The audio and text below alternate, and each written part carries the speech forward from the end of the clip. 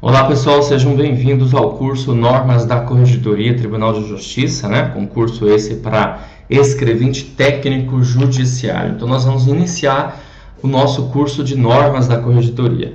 Mas antes de trabalhar com o que realmente vai cair no concurso, eu vou trazer para você nessa aula o capítulo 1 das normas da corregedoria. Você deve estar se perguntando, mas por quê? Vou perder tempo tal. Na verdade, não é uma questão de perda de tempo, porque é, é, é bom a gente ter essa noção de qual que é a missão, a visão e os princípios né, das normas da corregedoria, porque é isso, na verdade, que trata esse capítulo 1. Então, como que a gente vai iniciar um curso assim do nada, sem ter essa noção do que, que são as normas, para que, que elas servem, qual que é o intuito né, da Corregedoria é, Geral da Justiça, ok?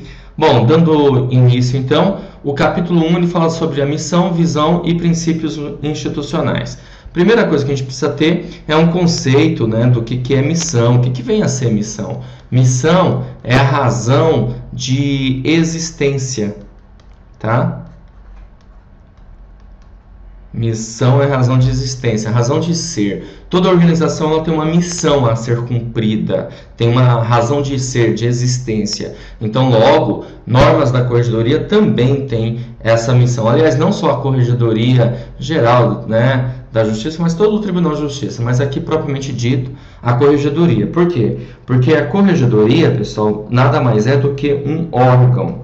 Né? A corregedoria é um órgão pertencente ao Tribunal de Justiça que estipula normas, regras, regulamentos, esses importantíssimos, né, para a vida dos magistrados, dos servidores, procedimentos que todos, na verdade, devem levar em consideração cumprir essas normas, esses regulamentos, tá bom? Podemos dizer que as normas, elas servem para regulamentar o trabalho diário é, dos ofícios de justiça. O que, que vem a ser ofícios de justiça? Ofícios de justiça são os cartórios, onde nós temos as serventias, né? também conhecidas como serventias, e lá você tem os servidores trabalhando, servindo inclusive aí o magistrado, né? o juiz, com a parte administrativa do serviço, ok?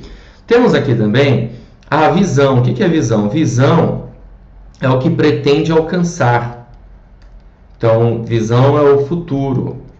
Tá? O que, que eu pretendo alcançar no futuro que seja desejável para mim e para todos que estejam ao meu redor, tá bom? Então, visão é futuro, missão é presente porque é o dia a dia. E os princípios institucionais quando ele diz assim, princípios institucionais, é princípio, são os princípios de toda a, todo órgão, toda instituição. E princípio nós podemos entender como valores, como aquilo que é, acredita, como algo que tem significado. Tá? Então é isso que nós podemos compreender nesse capítulo 1. Tanto que aqui informa qual, qual é a missão? A gente pode enxergar aqui a missão, a visão e os princípios. O artigo 1 diz assim: A Corregedoria Geral da Justiça alinha-se às diretrizes do Conselho Nacional de Justiça, uh, da Presidência, do Conselho Superior da Magistratura e órgão especial do Tribunal de Justiça do Estado de São Paulo na implementação de um poder judiciário voltado para a eficiência. Certo? E aí a eficiência, ela passa a ser aqui, no caso, a missão da instituição, ser eficiente. Tudo bem? Ser eficiente é saber usar bem os recursos que tem, utilizar da maneira correta, sejam esses recursos tecnológicos. Você vai ver que a gente vai falar muito aqui sobre sistema informatizado, processo eletrônico, tudo bem? Sistema eletrônico da, do Tribunal de Justiça, ok? Mas também recursos humanos, as pessoas, evidentemente, recursos financeiros, entre outros. Então, tem como missão a eficiência. E aqui a gente pode enxergar também a visão, né? no intuito de reconhecimento pela sociedade como efetivo instrumento de justiça, tá bom? De equidade e paz social. Isso a gente pode enxergar aqui a, a visão, A visão é o que pretende alcançar, mas a visão é sempre essa ideia de ser reconhecida, tá? pelo público-alvo, que no caso aqui é a sociedade ao público-alvo, ok? E nós temos os princípios. Artigo 2 diz assim: são princípios institucionais da Corregedoria Geral da Justiça. A eticidade, o que, que é eticidade? Voltada à ética, tudo bem? A imparcialidade, porque todos são iguais perante a lei, então tem que ser imparcial, tem que ser impessoal, lembrando aí o artigo 5 da Constituição Federal, né, que trata sobre isso, ok? A probidade, ou seja, a honestidade, a transparência administrativa e também processual. Nós vamos verificar que as pessoas elas têm acesso aos processos, né? Claro que existem processos que correm sob segredo de justiça e outros processos correm sob sigilo, ok? Mas as pessoas vão ter, em via de, via, via de regra né, geral, acesso aos processos e também a administração, a própria administração, a transparência administrativa, e aqui está se referindo a quê? Se referindo aos atos administrativos, ok? Ao aperfeiçoamento da qualidade e produtividade dos serviços prestados, a administração pública está muito voltada a isso ah, porque existe um modelo chamado modelo de excelência em gestão pública, voltado à qualidade, tá? A excelência, entregar um produto com é, excelência para o seu público-alvo aí, que no caso é a sociedade como um todo. A satisfação e o bom atendimento do cidadão usuário, sem preconceitos de origem, raça, sexo, cor, idade, condição social, filiação religiosa orientação sexual e quaisquer outras formas de discriminação. Também a celeridade processual, ser mais rápido, dinâmico, né? Tudo que a gente espera da, da justiça também é uma rapidez nos processos, a acessibilidade, que as pessoas tenham acesso ao serviço, a responsabilidade social e ambiental, que se preocupem também com as pessoas, mas também com o meio ambiente, a responsabilidade da gestão da informação e do conhecimento, todo o cuidado voltado à segurança da tecnologia da, da informação, haja vista que os processos hoje eles são processos digitalizados, estão no ambiente virtual, então é preciso ter uma boa responsabilidade, uma boa segurança nessa gestão. A credibilidade, passar confiança para as pessoas, as pessoas se sentirem confiantes com o trabalho que, no caso, o Tribunal de Justiça, propriamente dita, e a Corregedoria Geral da Justiça, entrega ao cidadão. Ao aprimoramento dos canais de comunicação, que no caso aqui, pessoal, é, a gente pode pensar em, em, em, ouvidoria. Cadê aqui? Minha caneta sumiu. Opa, tá aqui. Ouvidoria, tudo bem?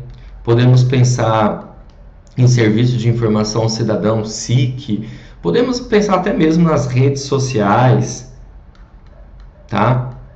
Facebook, Twitter, é, YouTube, entre, entre tantos, para que cria, cria-se dessa forma maneiras de estar tá mais próximo possível do, do, da sociedade, já que tem essa visão aí de reconhecimento da sociedade pelo efetivo, pela transparência e tal.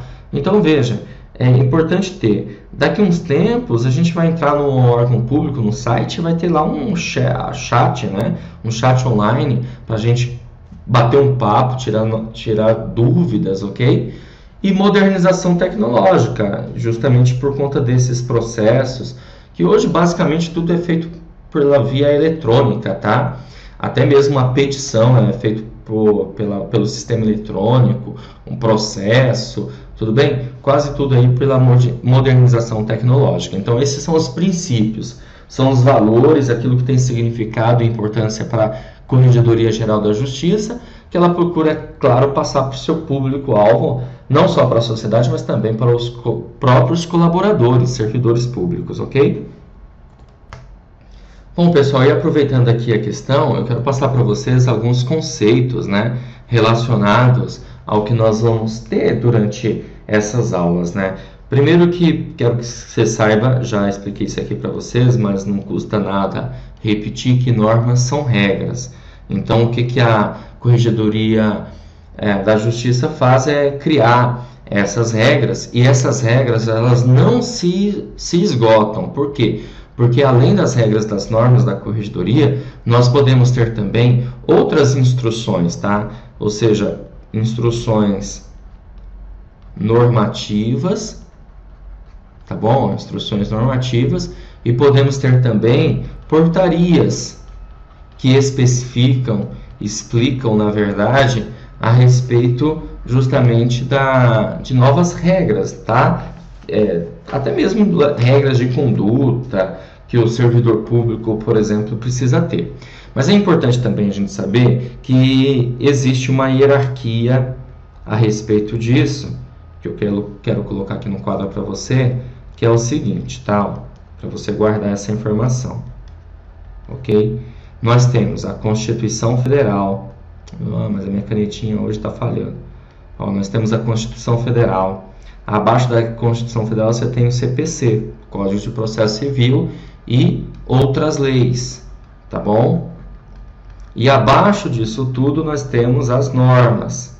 Por que, que eu estou falando isso para você? Porque as normas, as normas na verdade, é, ela não é lei, né, em si, porque foi feita pelo é, próprio Poder Judiciário. Na verdade, é um regulamento tal de muito valor, mas é um ato administrativo. Então, logo está abaixo da, do CPC e, consequentemente, abaixo também do, da Constituição Federal. Tá bom? Isso é importante a gente saber, por quê? Para a gente entender que existe uma hierarquia.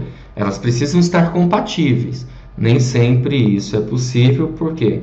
Porque às vezes, né, pessoal, acontece de você ter, na verdade, é, outras, o, outras regras aí que tem na Constituição Federal, no CPC, e aí acaba por si só criando certos conflitos, tá bom? Então, só para você saber a respeito disso.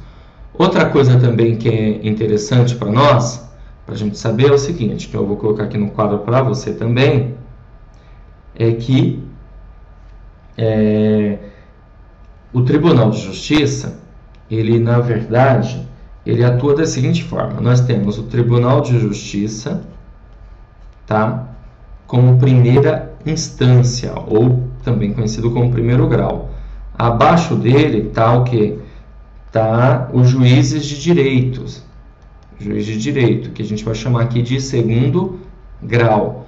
As normas da corregedoria tá aqui, ó.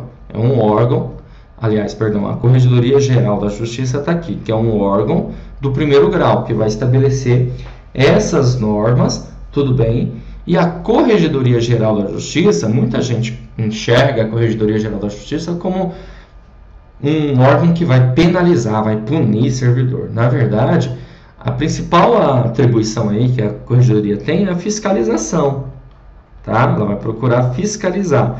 E essa fiscalização tem como intuito a orientação, ou seja, procurar orientar no dia a dia os colaboradores, né, os servidores públicos aí, nesse intuito de regulamento, de cumprimento de, de regras, tudo bem? E alguns conceitos também que são relevantes aqui para nós é o seguinte: você vai ouvir falar nas próximas aulas a gente falando sobre serventia. O que, que vem a ser serventia? Serventias são os cartórios, tá? São os cartórios onde nós teremos os servidores e esses cartórios eles dão apoio aos magistrados. Nós vamos ter aqui os ofícios de justiça. Opa, mas aqui não está falando. Mas você conseguiu entender, né? Os ofícios de justiça, tá? Temos também uma nomenclatura chamada comarca. O que é a comarca? Comarca, ela corresponde ao território, tá bom? Ó, corresponde a um território em que o juiz de primeiro grau irá exercer sobre sua jurisdição, tá bom? Um trabalho, tá bom? Que pode ser de um município ou vários municípios, porque comarca é uma divisão territorial.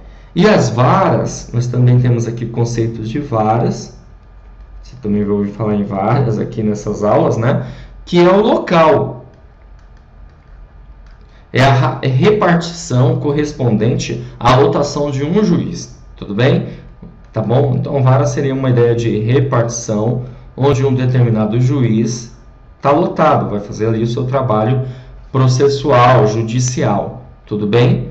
Lotação de um juiz. Então, você vai ouvir falar muito em varas. Aí nós podemos ter é, é, vários tipos de varas. Você pode ter vara criminal, vara civil na área civil, tá? E assim por diante. Então, a gente tem várias varas que vai ter uma numeração inclusive ordinal aí, né? Então, primeira vara ah, criminal da capital, primeira vara civil e assim por diante, ok? São conceitos interessantes para nós, por quê? Porque isso nos ajuda a entender um pouquinho mais sobre essas regras, né? A respeito aí, evidentemente, do da própria justiça, né? do Tribunal de Justiça, tá bom?